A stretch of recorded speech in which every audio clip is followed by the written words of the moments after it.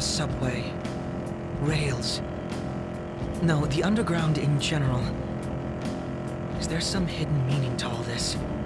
You have sharp eyes, but I won't be outdone.